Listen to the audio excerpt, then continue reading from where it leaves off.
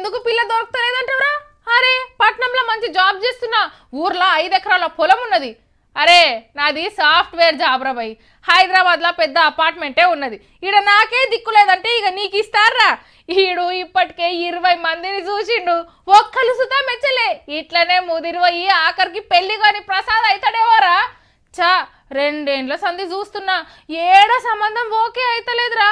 నాకు బాసింగ బలము ఉన్నదంట వాయింతకు అని ఫీల్ అవుతున్నోళ్ళు గీ వార్త చూస్తే ఇంకెంత ఫీల్ అవుతారో పో. ఒకటే పెళ్ళి పందిరి ఒకటే ముహూర్తం ఒకటే అయ్యవారు ఒకటే పెళ్ళి కొడుకు. కానీ పెళ్ళి పిల్లలే ఇద్దరు. ముగ్గురు మనుషులు ఆరు ముళ్ళు పద్నాలుగు అడుగులు. ఛత్తీస్గఢ్ రాష్ట్రంలో జరిగింది ఈ చిత్రమైన లగ్గము. మనోడు మూడేళ్ళకెళ్ళి ఒకరిని లవ్ ఆడుతున్నాడు. ఈ నడమ చుట్టాల పిల్లని చూసి మళ్ళొక పర్ల ఉలవడ్డాడు. ఈ ముచ్చట ఆలస్యంగా మూడు కుటుంబాలకు తెలిసింది. నాకే కావాలని ఆమె నాకే కావాలని ఈమె. ఏహే ఇద్దరిని వేసుకుంటే తీ అని మనోడు. నాకు అని ఆమె నాకు అని ఈమె.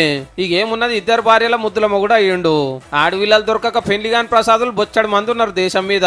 నువ్వు ఇద్దరిని వేసుకున్నావంటే గిరేటే అన్న. వాళ్ళు కూడా గింత కాయిష్ పడ్డారంటే శ్రీమంతుడేమో అనుకునేరు. అన్నగారు కూలి పని చేస్తాడు. కా పైసలతోటే ఇద్దరికి తిండి పెట్టాలి ఇద్దరికి చీరలు కొనాలి ఇద్దరికి నగలు కొనాలి రేపు ఇద్దరు పిల్లల మంచి చెడ్డలు చూసుకోవాలి. ఏడ జర్రంతా తేడా చూపించినా దబిడి దిబిడే అన్నో